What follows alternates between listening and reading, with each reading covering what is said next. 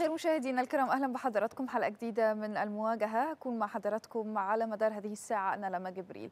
المواجهة الأولى النهارده هتكون تحديدا عن مكاتب الشهر العقاري والتوثيق. والحقيقة إنه الكثير من من الجهود التي يمكن تقام في هذا القطاع تحديدا. لو نتكلم عن تطوير وميكنه المكاتب في المرحلة الأخيرة مواكبة تامه للتحول الرقمي جهود حثيثة من قبل المصلحة لتقدم خدمة أيسر للجمهور والمواطنين. الفترة الأخيرة كان في كلام كثير جدا عن الشهر العقاري واللي خلصنا أو آخر قرار أو آخر تعديلات على التشريعات كانت فلسفتها التسهيل على المواطن. كان يعني لما اتقال إنه الضريبة العقارية وصعوبتها ودمجها مع خروج الوثائق والتسجيل خلاص هنفصل ده عن ده.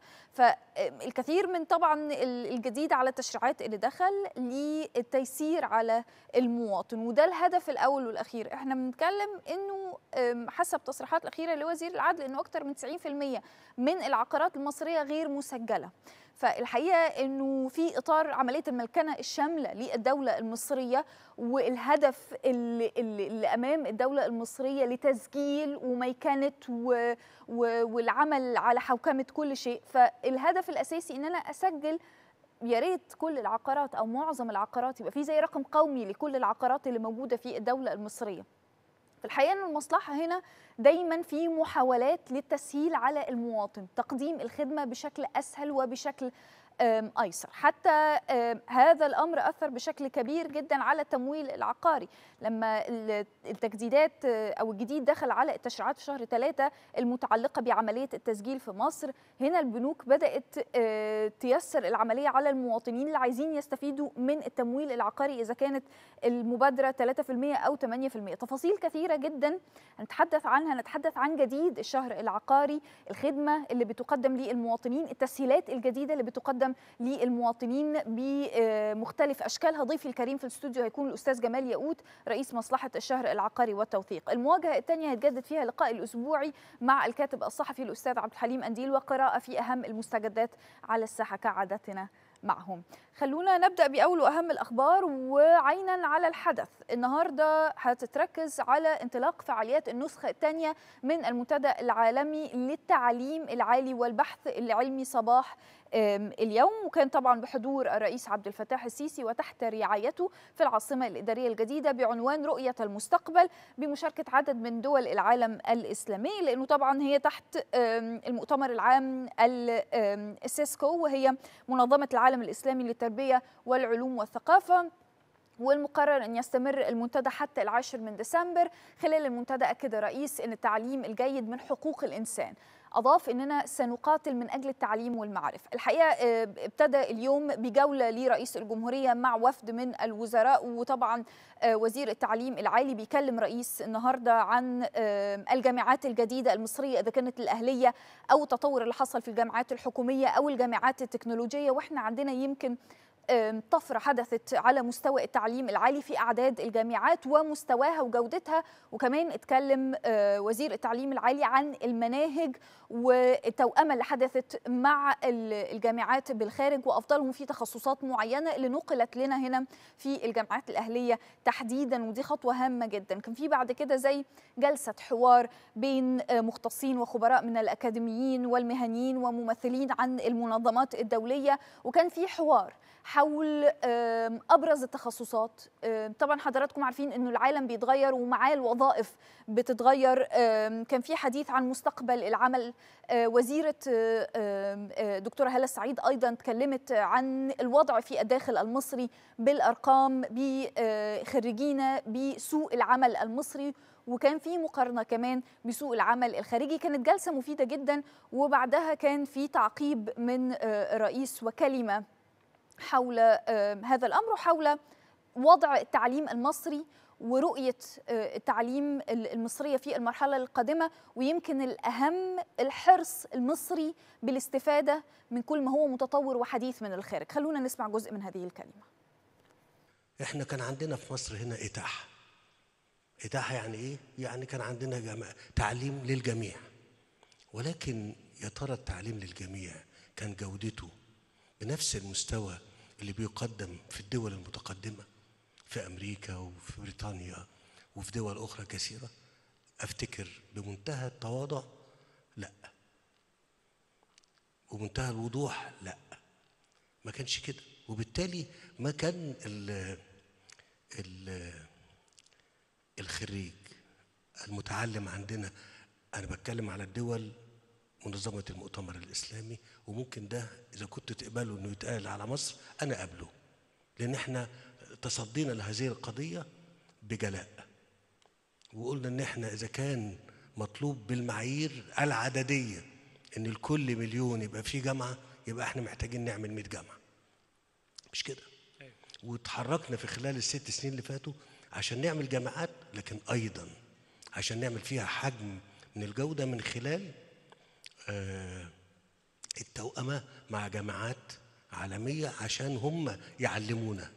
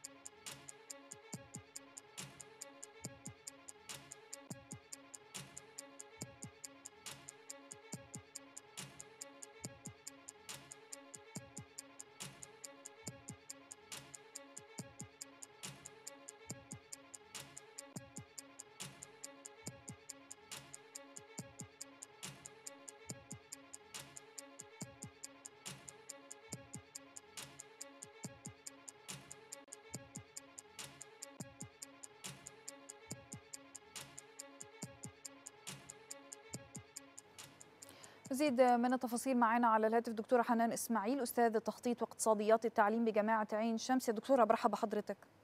أهلا بحضرتك. أهلا بيكي. الحقيقة إنه رئيس اتكلم النهارده بشكل كبير خلال افتتاح المنتدى العالمي للتعليم العالي على أهمية التعليم بالنسبة لنا وعن الخطوات اللي لسه محتاجين ناخدها واحتياجاتنا لمواكبة التعليم اللي في العالم واللي يقدر يخرج طالب قادر على مواكبة سوق العمل اللي بيتغير بسرعة جدا في الفترة دي. من وجهة نظر حضرتك أو واتكلم كمان طبعا عن اقتصاديات التعليم إيه المقصود باقتصاديات التعلم؟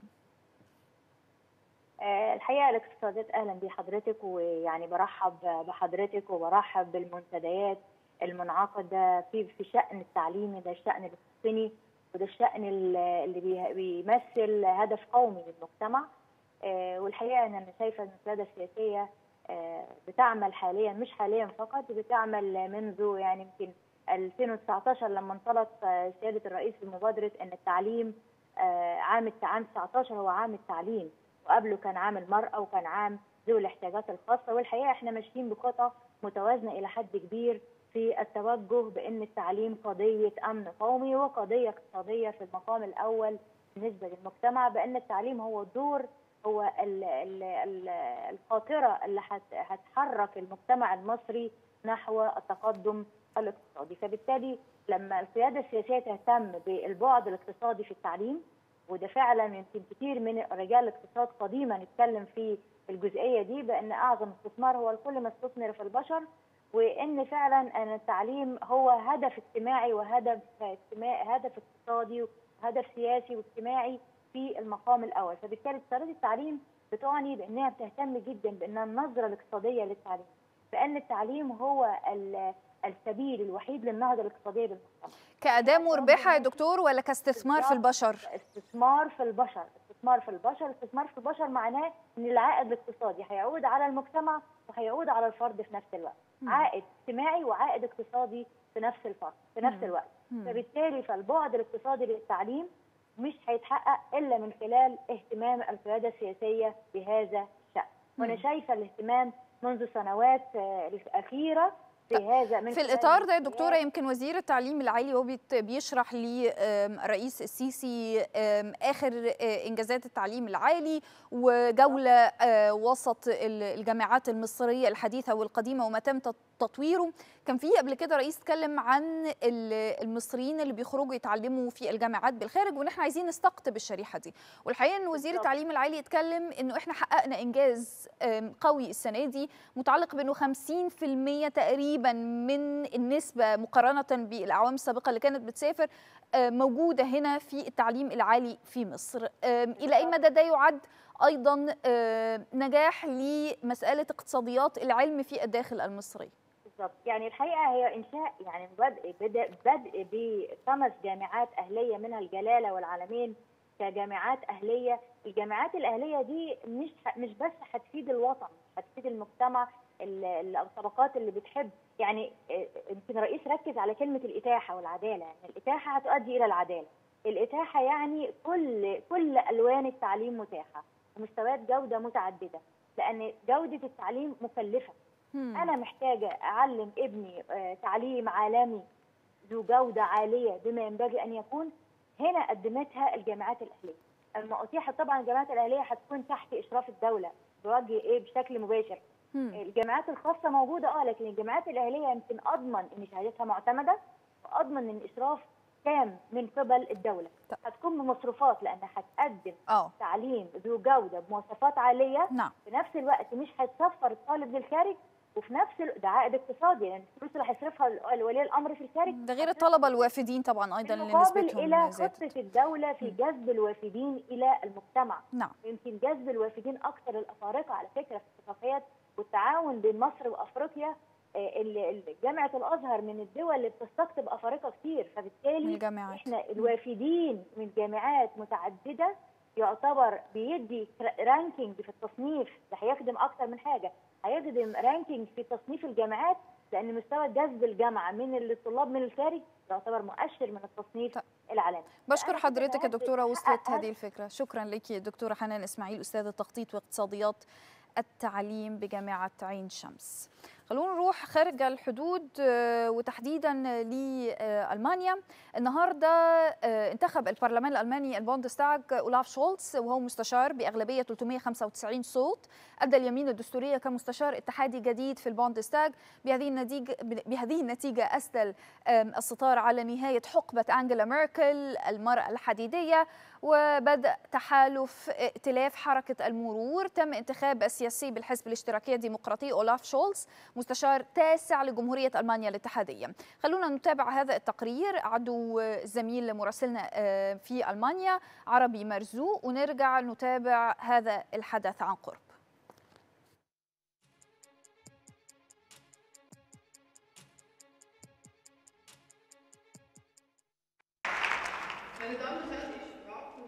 تطوي المستشارة الألمانية المنتهية ولايتها أنجيلا ميركل 16 عاما من الحكم لتنسحب من الساحة السياسية معلنة انتهاء فصل طويل من تاريخ ألمانيا المعاصر ليخلفها الاشتراكي الديمقراطي أولاف شولتز.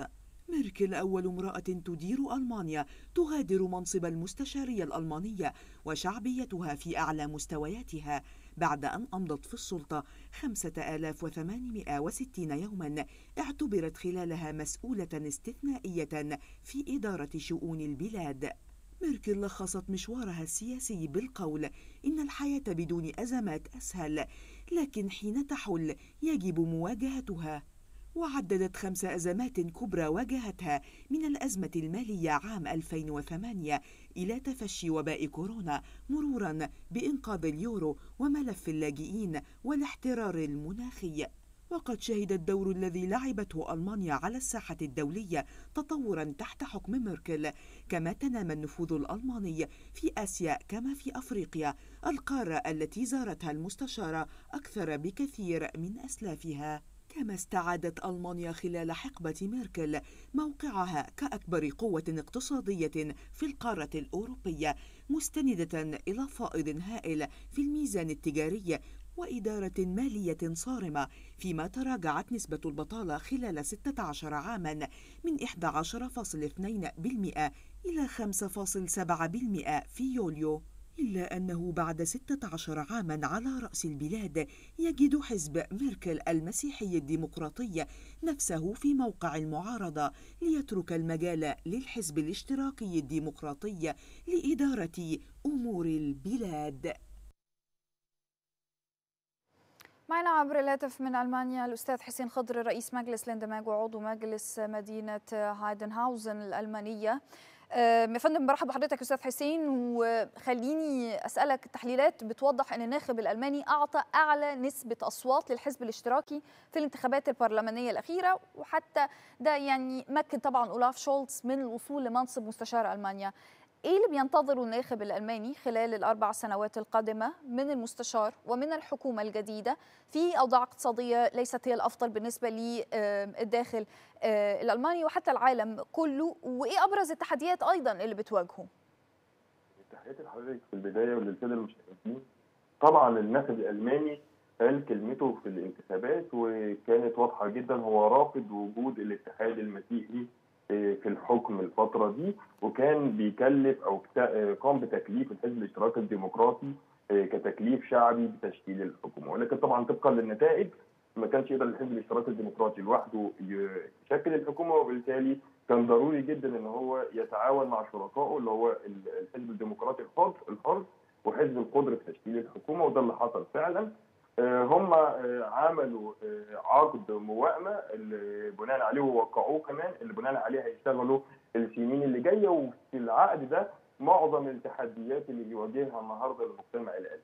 إحنا لو بنتكلم مثلا على مشكلة السكن عندنا مشكلة كبيرة جدا في السكن الميسور أو اللي يقدر المواطن العادي إن هو يدفع إيجاره مشكلة كبيرة جدا حتى الطلبة اللي بتدرس في الجامعة أو الناس اللي مرتباتها ضعيفة بيبقى عندها صعوبة كبيرة جدا انها تلاقي سكن مناسب فاحيان كثيره جدا بتقوم الطلبة إنها تأجر أوضة في شقة أو سرير في أوضة جوه شقة. ولكن الثلاث أحزاب وعدوا إن هيكون في حل للأزمة دي وده من خلال إن هم كحكومة مشتركة يقوموا أو يساعدوا أو يدعموا بناء 400 ألف وحدة سكنية سنويا وده طبعا هيزود نسبة العرض اللي موجودة في السوق بحيث إنها تبقى مناسبة للطلب ومن هنا يبدأوا يحلوا مشكلة ارتفاع الإيجار اللي موجوده.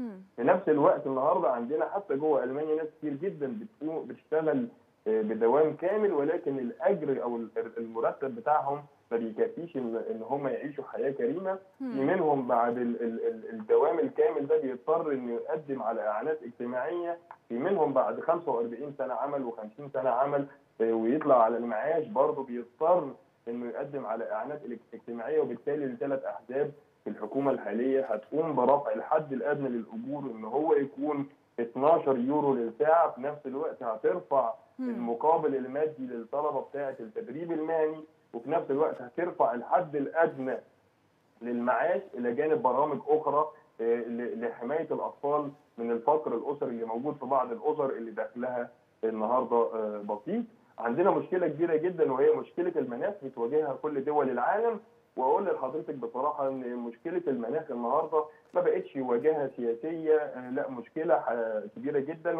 وحتمية مواجهتها ضرورة لحماية هذا الكوكب وحماية البقاء البشري على هذا الكوكب. وبالتالي الثلاث أحزاب اتفقوا على نقط مهمة جدا. أهمها إن سنة 2030 هيكون هو عامل استغناء عن الفحم في توليد الطاقة وعام 2045 هيكون عام وصول ألمانيا إلى دولة محايدة مناخيا بالكامل ده طبعا مجهود كبير جدا وبرنامج صعب جدا لأن معناه إن هم عايزين يخلوا كل المصانع النهارده بتعتمد على الطاقة النظيفة ما عندهاش عوادم السيارات كذلك الأمر البيوت كذلك الأمر حتى مصادر الطاقة يبدأوا يغيروا فيها تدريجيا أستاذ حسين العلاقات الألمانية مع الخارج علاقات متوازنة جدا ولها أخصية أو لها خصوصية. وعلاقات جيدة جدا بكل أقطاب العالم تقريبا يعني ما عدا بعض المناوشات مع الجانب الروسي. إحنا بنتكلم إنه حزب الخضر هو تولى حقيبة الخارجية. هل هذا يشير إلى أي تغير في السياسات الخارجية لألمانيا في المرحلة القادمة؟ في لازم نفرق هنا بين نقطتين مهمين جدا وهي توجه حزب الخضر كحزب لوحده منفردا بيمثل نفسه ووزاره الخارجية اللي بتمثل الحكومة الألمانية والدولة الألمانية ودي ممثلة النهارده في الثلاث أحزاب اللي موجودين. وبالتالي ال ال ال ال الكلام اللي كان في بعض الأوقات بيطلع من قيادات حزب الخضر كحزب ده ما يمثلش رأي وزارة الخارجية ولكن رأي وزارة الخارجية فقط هو اللي بيمثل بيمثلها وبيمثل الحكومة الألمانية. إحنا شفنا النهارده إن المستشار الألماني اولاف شولز النهارده قسم اليمين واستلم شهادة الترسيم وفي يوم بعد بكرة على طول يوم 10 هيسافر لباريس وبروكسل وبالتالي واضح جدا للجميع إن الملف السياسات الخارجية مهم جدا بالنسبة له كمستشار ألماني بصرف النظر عن وجود وزير للخارجية. الاتحاد الأوروبي مهم جدا بالنسبة له عايز يأكد على توطيد العلاقات والارتباطات اللي موجودة وعلى فكرة الاتحاد الأوروبي اللي موجودة وحماية وصلت هذه الفكرة. هذه الفكرة الأستاذ حسين خضر رئيس مجلس الاندماج وعضو مجلس مدينة هايدنهاوزن الألمانية.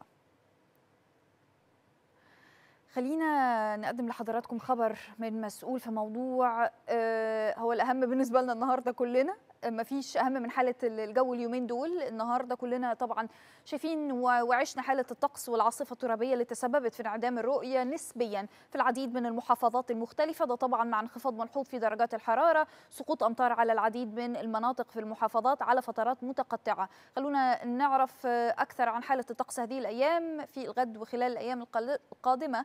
معنا عبر الهاتف دكتور محمود شاهين مدير مركز التحاليل والتنبؤات بهيئة الأرصاد الجوية. دكتور برحب بحضرتك. خليني أبدأ أو بداية كده. إمتى نشعر بالاستقرار وتخف حدة هذه العاصفة الترابية اللي كانت موجودة النهاردة؟ مساء الخير على حضرتك فندم وعلى كل السادة المشاهدين. خلال الساعات القليلة القادمة تنتهي تماما موجة حالة عدم الاستقرار اللي استمرت معنا يومين الثلاث والأربع واعتبارا من فجر الخميس. هتهدأ الأمور تماما وهتهدأ الرياح على كافة المحافظات. أيضا هتهدأ الأمواج تماما اللي كانت مرتفعة في شواطئ البحر المتوسط واللي وصلت إلى خمس أمتار وهتعود بقى الشبوره المائية في الظهور بعد م. الفجر آه ولكنها شبوره خفيفة الحمد لله برضه غير مؤثرة على آه قيادة السيارات وهدوء سرعات الرياح وإن طب ودرجات الحرارة يا دكتور في انخفاض ملحوظ هل ده مكمل معانا الفترة القادمة؟ فترات كتير يا فندم؟ هي طبعا خلال الأيام اللي جاية هتقل كميات السحب وهتزيد فترات سطوع أشعة الشمس وقت الظهيرة وهترتفع درجة الحرارة العظمى بشكل طفيف تصل إلى 23 و24 درجة خلال الأيام اللي جاية على القاهرة الكبرى. لكن فترات الليل تنخفض درجة الحرارة بشكل سريع وبيكون في فرق كبير بين العظمى والصغرى بيزيد عن 10 درجات مئوية. ده اللي بيخلينا نتطلب باستمرار ارتداء الملابس الشتوية بقى الفترة اللي جاية خصوصا في فترات الليل أو الصبح بدري وإحنا خارجين بإذن الله. شكرا لحضرتك دكتور محمود شاهين مدير مركز التحاليل والتنبؤات بهيئة الأرصاد الجوية واهلا طبعا بكل محبي الشتاء يعني. فاصل قصير مشاهدينا الكرام وأول مواجهة لي الليلة في انتظار حضراتكم بعد هذا الفاصل.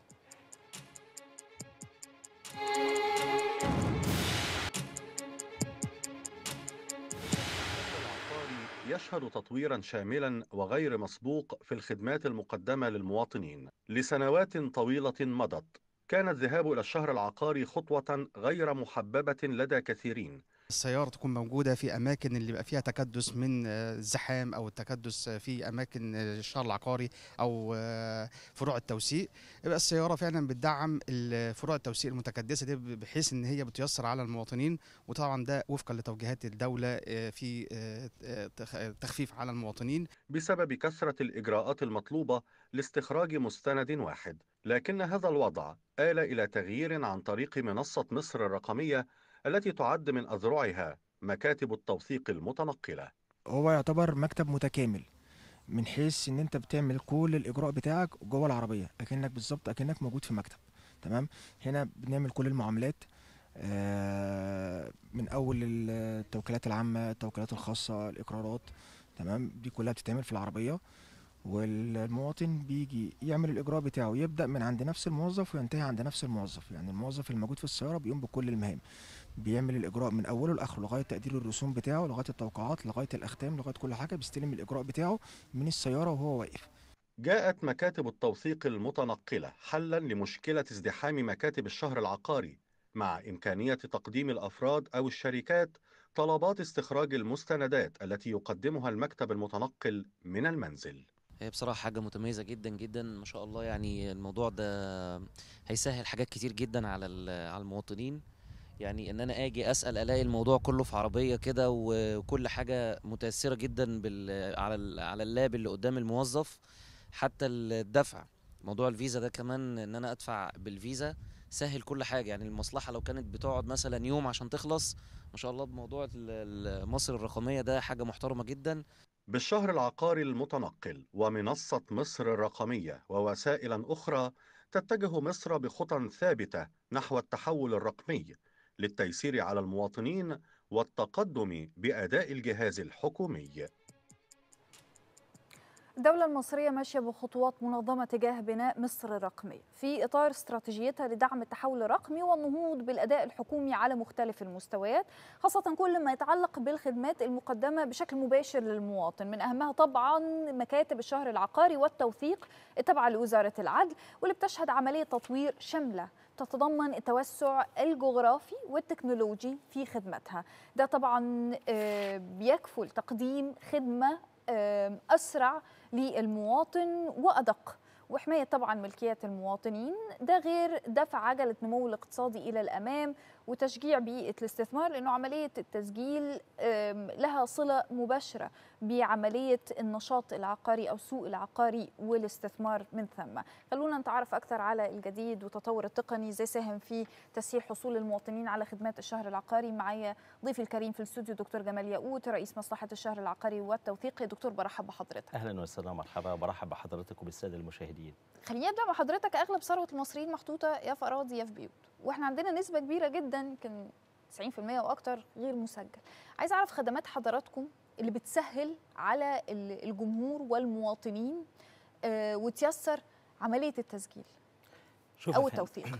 أو بداية في بداية الحوار نوجه الشكر والتقدير للقيادة السياسية ممثلة في آه فخامة السيد الرئيس لاهتمامه بمشروع قومي يعد من أهم المشاريع القومية في الدولة وهو مشروع التحول الرقمي. مش... الدولة بدأت تتحول تحولا تدريجيا رقميا من من دولة ورقية إلى دولة دولة غير رقمية، غير رقمية يعني إيه؟ مستوى الخدمات الحكومية فيها خدمات إلكترونية. التنمية قائمة على أساس التحول الرقمي خطة وزارة العدل في التحول الرقمي ما لم تقتصر على إنشاء مقرات إنما امتدت الخدمة فيها إلى زيادة واستحداث فروع للتوثيق على مستوى الجمهورية. تم توقيع العديد من البروتوكولات ما بين وزارة العدل وما بين وزارة الاتصالات وما بين وزارة التخطيط من شأن هذه البروتوكول البروتوكولات إتاحة الفرصة وإعطاء خدمات جديدة لم تتواجد في مصلحة الشهر العقاري من قبل. خدمات جديدة بآليات جديدة بطريقة سهلة وبطريقة ميسورة. زي يا فندم؟ أنا عندي في إيه سنة 2014 كان عدد مقرات التوثيق على مستوى الجمهورية 360 فرع. دلوقتي بقى أنا عندي كام يا فندم؟ 561 فرع توثيق. يعني زادت نسبة فروع التوثيق أكثر من 55% ده بنسميه التوسع الأفقي في خدمات توثيق المحررات والتوكيلات على مستوى الجمهورية. من ال 561 فرع تم ميكنة 325 فرع. مم. يعني أكثر من 70% دخلنا أكثر من من 65 ل 70% من فروع التوثيق تم ميكنتها وأصبحت جميع هذه الفروع تعمل بنظام الشباك الواحد. مم. وسعادتك عارفة يعني إيه نظام الشباك الواحد؟ المعاملة أمام موظف فقط. يتم التعامل أمام موظف فقط. الورق لا يتداول والمعلومات أمام موظف فقط. طيب إجمالي عدد الفروع اللي تم نقل ال- نقلها من آه، يدوي إلى مميكن 325 فرع تم استحداث نظام الشباك الواحد في 325 فرع على مستوى الجمهورية يعملوا بنظام الشباك الواحد. مم. استحداث مكاتب وفروع التوثيق في مكاتب البريد. وبالفعل تم توقيع بروتوكول ما بين وزارة العدل وما بين الهيئة القومية للبريد من شأن هذا البروتوكول إنشاء مقرات للتوثيق داخل مكاتب البريد. هذه الفروع اللي تم الإنشاءها غطت كام؟ 110 مكتب بريد. على مستوى الجمهورية يؤدي كافة خدمات التوثيق فيما عدا الخدمات التي استوجب القانون فيها الاختصاص المكاني. آه. كل هذه المكاتب سواء كانت 325 فرع تعمل بنظام الشباك الواحد عند 110 فرع بريد يعمل بنظام الشباك الواحد كل ذلك قضى على مرحلة اليدوي والفروع اليدوي أم أم هل كل الخدمات بتقدم لازم التسجيل ليها قبل ما أروح المكتب يا فندم؟ لا مش شرط. في بعض المكاتب اللي تم فيها الحجز على الأونلاين والحجز المسبق وفي بعض المكاتب آه، بوابة مصر الرقمية موجودة في هذه الفروع بيتم التعامل فيها بطريقة سهلة. طب لو أنا مش مسجلة ورايحة مكتب آه، لازم أكون مسجلة قبلها ما مش هعرف أعمل الخدمه اللي أنا لا, عايزاها؟ لا موجود يا فندم آه، بوابة مصر الرقمية موجودة خدمة موجودة داخل الفرع تستطيع آه. إن سعادتك تد... لو سعادتك مسجلة مفيش مشكلة. فيه مفيش تسجيل لحضرتك بتخش على بوابة مصر الرقمية وبتحجزي في نفس الفرع. وأنا واقفة. وأنت واقفة. والخدمة بتتم. في بقى نسبة موظفين بيساعدوا لأن في اهالينا حضرتك عارف ممكن كبار سن أو آه أو آه طبعا. هو ال هو ال خدم خدمة بوابة مصر الرقمية معمولة لهذه الفرع آه لهذه الخدمة. اللي هو ما بيقدرش يتعامل أو ما عندوش آلية التعامل أو. سيطرة التعامل فهو اللي بيتعامل له وهو اللي بيحجز له وهو اللي بيدخله على المعاملة بطريقة سهلة وبطريقة بسيطة. مم. عندي يا فندم 22 خدمة من خدمات الشهر العقاري موجودة على آه بوابة مصر الرقمية وعلى بوابة آه مصلحة الشهر العقاري ووزارة العدل ده هذه ممكن أعمله من غير منزل من البيت؟ وأنت في البيت مم. وتأدي الخدمات كلها ال 22 خدمة وأنت قاعدة في البيت وما تنزليش مم. وتوصل لسعادتك الخدمة في المكان اللي سعادتك بتحدديه. هذه الخدمات لو حبينا حتى نعرضها على الشاشة خدمات تمتد لخدمات شهر عقاري وخدمات للتوثيق. هذه الخدمات استخراج صورة من عقد مسجل أو عقد مشهر. مم. تقدر سعادتك تتحصل عليها وأنت سعادتك في البيت. استخراج شهادة عقاريه صورة كتاب دوري أو صورة من منشور مالي أو صورة من منشور فني أو طلب بيع آه، شقة أو بيع عقار. مم. كل هذه الخدمات بالنسبة للترجمات ترجمة على موقع الوزارة ترجمة عقد للغة الإنجليزية عقد زواج باللغة الإنجليزية شهادة طلاق آه، صورة من عقد آه، باللغة الفرنسية ترجمة عقود زواج باللغة الفرنسية ترجمة شهادات طلاق باللغة الفرنسية إلى اللغة الفرنسية ترجمة رخصة دولية إلى اللغة العربية مم. كل هذه الخدمات موجودة على الموقع مصر الرقمية وموجودة سعادتك على موقع الوزارة طب. ادعي آم، خليني أسأل حضرتك آه، إحنا تابعنا تقرير عن السيارات أيضا المتنقلة المميكنة. دي موجودة فين يا فندم؟ وإيه الخدمات اللي ممكن تتم من خلالها؟ شوف يا فندم آه، آه، تم توقيع بروتوكول ما بين وزارة العدل وما بين وزارة التخطيط وما بين وزارة الاتصالات. الهدف من هذا البروتوكول الدفع بعدد من سيارات التوثيق المتنقل. الشهر العقاري منذ إنشاء سنة 46 وبقانون التوثيق كانت سيارات التوثيق كانت مكاتب التوثيق ثابتة. آه، مع ازدحام السكان ومع اتساع الرقعة السكانية الكبيرة اضطرينا إن إحنا نخرج خارج هذا الإطار. فتم استحداث سيارة التوثيق المتنقلة. سيارة التوثيق المت- المتنقلة هي عبارة عن مكتب للشهر العقاري المتنقل يؤدي الخدمة بالكاملة في فروع التوثيق. يتم الدفع به. أمام فرع التوثيق المكتظ بالسكان أو المكتظ بالعمالة لرفع كفاءة هذا المقر. دي حالة. أو الحالة الثانية اللي هي استخدام هذا هذه هذه السيارة في التوجه إلى إحدى الفروع آه، لرفع كفاءة هذه الفروع. أو الحجز عن طريق الخدمة آه، ت- 15 ثلاث ساعات اللي هي ممكن تنتقل السيارة إلى شركة أو إلى منزل. تؤدي فيها هذه 15 الخدمه 3 ساعات. دي 15 تنفع لكبار. السن طبعا. لأي حد. يتواصل منها. لاي حد ممكن يتواصل. ويحصل على هذه الخدمة. حضرتك كنت قلت لي في جديد بالنسبة لهذه السيارات أيضا. آه في جديد إن شاء الله رب العالمين يوم 15 معالي وزير العدل. آه القاضي الجليل عمر آه المستشار عمر مروان هيدفع ب 10 سيارات هيبقى أسطول السيارات لدى الشهر العقاري 21 سيارة. هذه السيارات الجديدة اللي هتم فيها إطلاق الخدمة يوم آه 15 12 هت ما بين محافظات الوجه البحري والوجه الإبلي. وبهذا العدد نستطيع أن نقول أن جميع سيارات التوثيق المتنقلة غطت الجمهورية بالكامل وانتشرت انتشار واسع في الجمهورية بالكامل. سؤالي الأخير لحضرتك هل يبقى الوضع على ما هو عليه لحين الانتهاء من النظر في التسهيلات اللي الدولة بتقوم بها وزارة العدل بشكل خاص لأنه كان حدث في الفترة الأخيرة كثير من الكلام والحقيقة أنه دخل تيسيرات كمان على التشريعات القديمة جدا يعني. الوضع يبقى على ما هو عليه لحين انتهاء العامين. أنا بس آه. عايز أكد النقطة. آه النقطة دي ما زال الشهر العقاري هو وزارة العدل أعدت مشروع بقانون بتعديل بعد أحكام القانون 114 قانون تنظيم الشهر العقاري على أعلى مستوى وتم دراسته بوزارة العدل وبقطاع التشريع وبقطاع الشهر العقاري وجميع القطاعات بوزارة العدل اشتركت في هذا في هذا التعديل.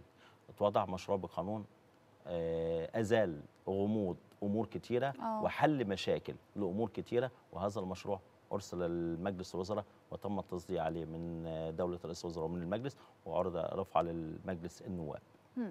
أخيرا بشكر حضرتك شكرا جزيلا دكتور جمال ويعني مجهود كبير جدا فيما يتعلق بمصلحة شهر العقاري والتوثيق. شكرا لحضرتك. دكتور جمال ياقوت رئيس مصلحة شهر العقاري والتوثيق ضيفي الكريم. فاصل قصير وأكون في انتظار حضرتك.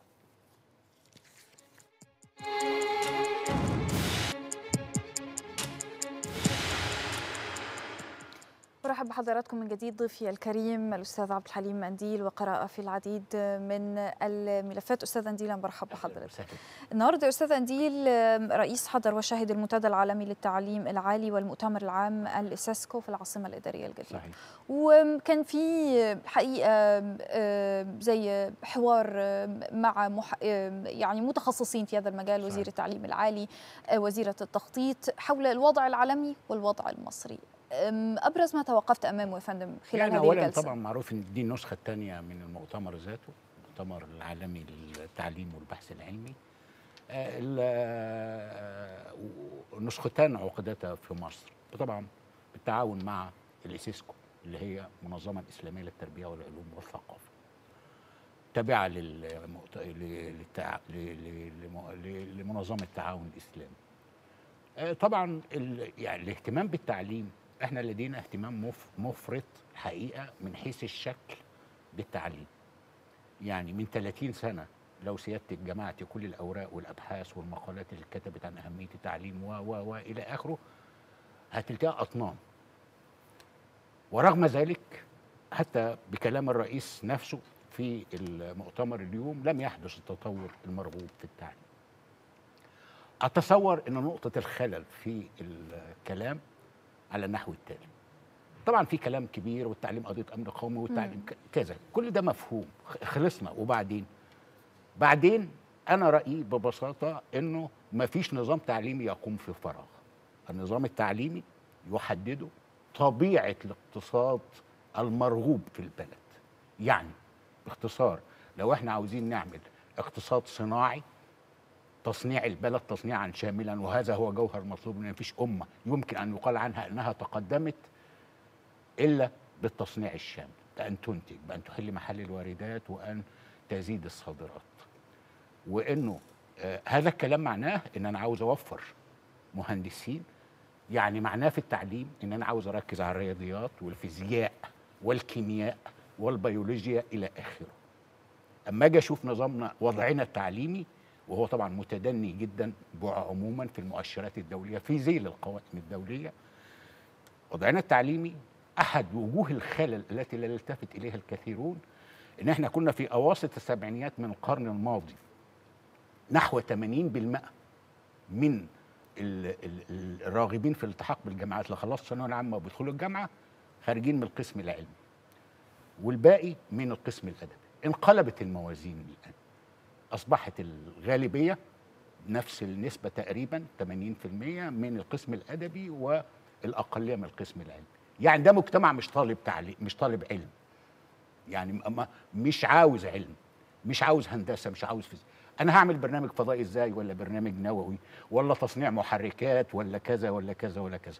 عندي هذا بلد كبير في عدد كبير من العلماء والمهندسين وكذا لكن الاحتياجات بتتكشف. يعني إحنا كان عندنا وهم من كام سنة إن عدد الأطباء كتير جدا. مم. ثم اكتشفنا إنه إحنا عندنا نقص فادح في عدد الأطباء بالهجرة وبغير الهجرة. المدرسين كذلك الكذا في نقص فادح في مجالات كثيرة جدا بينما في انتفاخ فاضح في مجالات أخرى. طبعا مع احترامي لكل المهن. يعني مثلا أنت عندك نقابة المحامين فيها 700 ألف عضو أكبر من عدد المتهمين في البلد. يعني فالفكرة أنت بتتكلم عن إيه؟ إن أنهي نظام تعليمي كذا. طبعا الاستفادة من تجارب الأمم وغيرها شيء كله مطلوب. لكن أنا أخشى أن تكون الاستفادة أو أن الاستفادة كانت خلال عقدين على الأقل ماضية أو ثلاثة عقود على النحو التالي. كل ما حد يشوف نظام تعليمي في حتة كويس يعمل نسخة منه. في مصر. والنتيجة إن إحنا بقينا مقلب. يعني ما فيش هوية لنظامنا التعليمي. كلام الرئيس اليوم بيتكلم آه طبعا قضية النظام التعليمي وتغييره بتاخد مدى. أنا موافق إنها بتاخد مدى بس المهم تاخد الاتجاه قال الرئيس إنها بتاخد من 15 ل 20 سنة وبتتطلب توفير موارد وإن البلد محتاجة 100 جامعة. أنا الذي ألحظه إن في بعض جامعاتنا يعني في السنوات الأخيرة تقدمت لمربع 1500 جامعة في العالم. كنا بره هذا الكلام لوقت طويل وانشئت جامعات أهلية وغيرها وغيرها. تعميق المعنى معنى علاقة الاقتصاد المرغوب مش الاقتصاد القائم الاقتصاد الذي نريده بالتعليم الذي نريده دي همزة الوصل المطلوب. لورد كرومر لما كان عمل نظام آه، آه، آه، مستر دانلوب معاه بيعمل نظام تعليمي كان عاوز مش هيقدر يجيب إنجليزي يديروا البلد كلها ففي إشراف للإنجليز المحتلين على موظفين يشتغلوا في الإدارات. فعمل النظام التعليمي على أساس ده. فحكاية إن إحنا بندور على نظام تعليمي في فراغ آه يعني مسألة أعتقد أننا لابد أن نعتبر بيها ولابد من إيجاد هوية لنظامنا طب التعليمي عايزة أسأل حضرتك عن التعليم الفني. في أعتقد أعداد أكبر آه طبعاً، و- ومن الواضح إنه يعني اختلفت النظرة لهذا التعليم. اختلفت النظرة أنا موافق. بس اختلاف النظرة ده ألجأته آه، ألجأتنا إليه الضرورة اللي بتحصل. كان في نظرة احتقارية أو ت- أو تصغيرية للتعليم الفني أو كذا أو كذا. في دلوقتي كليات تكنولوجية وكذا وكذا. هي دي الأساس اللي إحنا عاوزين نمشي عليه. طب نمشي عليه بإيه؟ أنا عندي أنا أنا لما أتكلم عندي مشروع فضائي بدأ ينتعش. أخيرا عاوز أعمل لأنه أقمار العالم كله يا فندم مش أعمل. كل الناس خريجة جامعات. أعمل أقمار صناعية. أنا ما بتكلمش عن الجامعة التعليم عموما. المدرسة. يعني اسمها لندن سكول نعم. يعني ما اسمهاش يعني. فال دي ب- بتعمل إيه؟ الرياضيات الفيزياء الكيمياء البيولوجيا الكذا كل ده هو ده أساس ال ال ال العلم. أصنع صواريخ إزاي يعني؟ بمين يعني. بقى هجيب خريج كلية آداب يصنع لي صواريخ؟ أو أحطه على الرصيف؟ أو أشغله سواق تاكسي؟ يعني إحنا محتاجين إعادة نظر في في في الجوهر. جوهر محتوى محتوى التعليم. محتوى. المحتوى محتاج يتقلب يتعدل الميزان الرئيس اتكلم عن في اتجاهات تطرف وكذا وكذا كذا نظرتها للعلم نظرة سلبية جاهلة. دي أثرت. لكن طبعا الحكومات التي صاغت هذه السياسات أيضا أو تركتها بالتداعي آه، أثرت أيضا. فإحنا محتاجين إعادة نظر. فعقد هذا المؤتمر يستحث هذه ال- الطريقة يعني. ومفيش أمة نهضت الامم نهضت حديثا زي الصين زي الهند زي كذا. غيرت في نظامها التعليم بفكرة المحتوى. أنا بعلم مين وبعلمه إيه؟ عشان إيه؟